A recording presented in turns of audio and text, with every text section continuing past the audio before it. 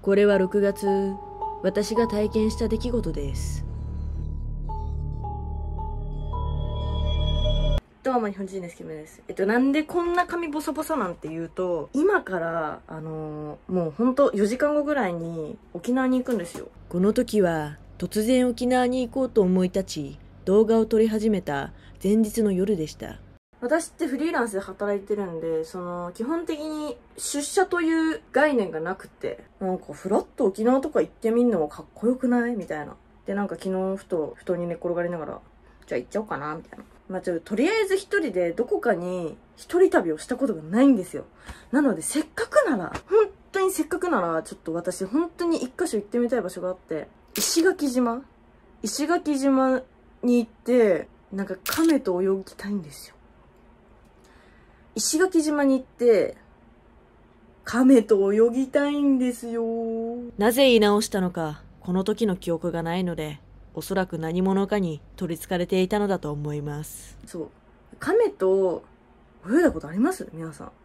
私はもちろんないんですけど、なんていうの、本当は欲を言えば私ジンベエザメと泳ぎたいんですよ。でもやっぱちょっとね、まだレベルが、一回スキューバーダイビングというものをやったことがあるんですけど、結構、うまい方ではなかったっていうか、なんか鼻？鼻で息しちゃいけないんですけど、スキューバーダイビングって、なんかめちゃめちゃ私のつけてたやつが、ポコポコポコポコいて、なんか目の中にめっちゃ水入ってきて、みたいになるから、一緒に行ってた友達はめっちゃ上手くて褒められてたんですけど、なんか私はあんまセンスないのみたいな感じで言われて、ちょっとムカついたんで、今日はちょっと挽回しに、朝の8時にね、成田空港から出発する飛行機に乗って、一人旅を、人生初の一人旅をしていきたいと。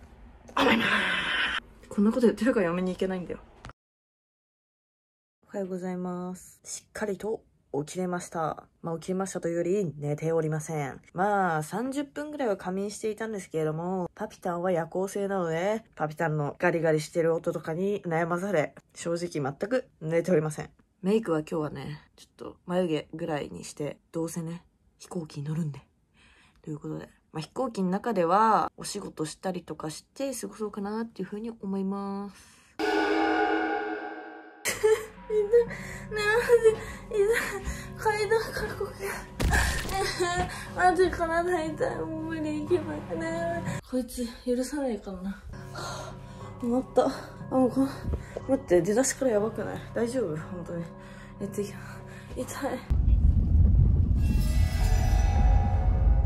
タクシーで最寄り駅まで行ったところまでは良かったのですが、乗り換えをした後に怪奇現象が。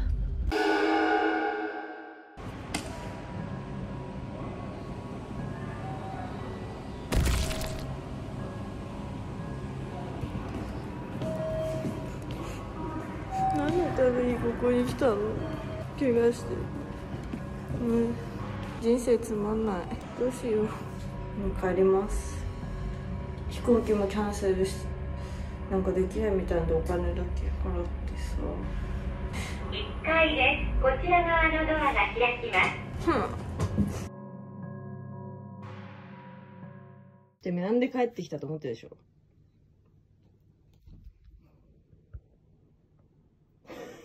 顔怖っ。怖いね顔。実は。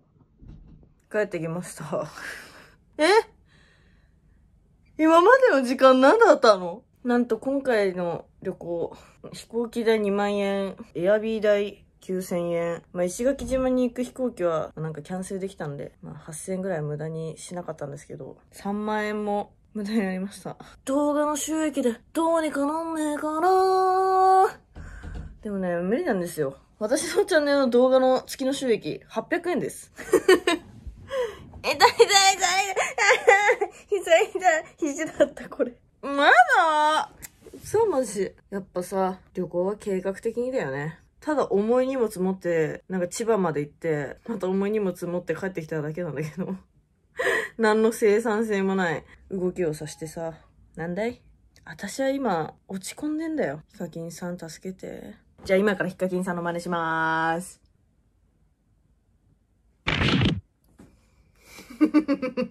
いや、よくやるよね。首折れるやつ。あれ好きです。そんな話がしたいわけじゃないのよ、別に。あれが好きだとか、これが好きだとかさ。で、しかも聞いて。ねえ、ちょっとさ、私のさ、災難話聞いてくんない最近の。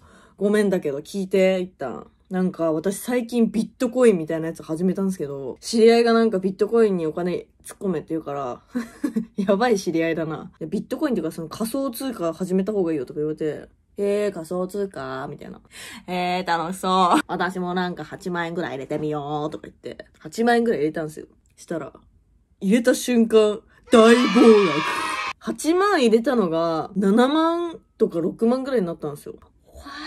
まあ皆さんも旅行行くときは計画的に、そして余裕を持ってそう。一番、ちょ、待って、一番伝えたいかも、これ。あの、始発とかで行かない方がいいよ。マジで。なんか違う、私が多分今日失敗した理由は本当に、始発じゃ間に合わない便に乗ってたからね。もしも電車に乗れなかったらみたいなことを考えてなかったわけ。絶対乗れるっしょ、みたいな。甘かった自分。とろいのよ、基本。歩くのめっちゃ遅いから、41分の電車が、そう、2つあって、こっちが右が成田で、こっちが羽田だったの。私は、あの、成田に行きたかったの。成田にね。成田に行きたかったのに、やっぱさ、めっちゃさ、時間で焦ってる時ってさ、41分2つだったらさ、わかんないじゃん。そんなさ、見てる暇ないからさ、え、こっちだって思ってさ、こうやってペペペペって走っていったらさ、羽田の方でさ、それが。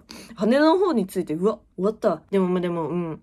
余裕持って1時間前ぐらいに、そう、1時間前には着くようにしてたの。空港に。本当は2時間前がいいらしいんですけど、まあそんな、あの、始発がなかったんで、次の電車来るのが30分後で、もうその30分後の電車乗ったら、確実に間に合わないわけですよ。でしかも朝から階段で転んで、滑り台みたいなさ転んでさ、お尻もさ、肘も怪我してさ、痛くてさ、え、待って、これでさ、ウミガメと泳ぐとか言ってもさ、私、肘怪我してるからさ、その血の匂いを嗅ぎつけたサメとかが来てさ、私サメに食い殺されんじゃね？とか思ったりとか、とに、とにかくなんか、え、これってもしかしてなんか、旅行行くなって暗示？みたいな。なんか、もし、もしかしたらその飛行機が墜落して死んじゃったかもしれないしとか、なんかそういうこと考えたら、あ、もういいや、行くのやめよう。うん、命のが大事、みたいな。そう、結局、なんかそういう、なんか行かせない時みたいな、あるじゃないですか。わかんないけど。神様がね、あなた、そこに行くのやめなさい、みたいな。そういうお告げかなと思って、もう今回おとなしく帰ってきました。怪我して、電車乗れないで。これで多分無理やり行ったらマジでサメに食い殺されてました、今頃。よかった、生きてて。ということで 皆さんは、計画的に旅行に行きましょう。でね、これちなみに私が中学生から被ってる帽子です。この前友達に、え、それまだ被ってんの？って言われました。よくね、年季入ってて、ヴィンテージ。イェーイ。まあそんな感じで、皆さんは旅行行くときはちゃんとね、最悪の事態を考えて行動するようにしましょうねやばい、なんかさ、それさ、さっきさ、動画撮ってたらさ、見返したらさ、途中で画面真っ暗になってさ、なんか消えてんですけど喋ってたのが全部、後半。私なんか取り付いてたりす。ちょっとさ、見える人いない？なんか私の周りなんか、肩とかになんか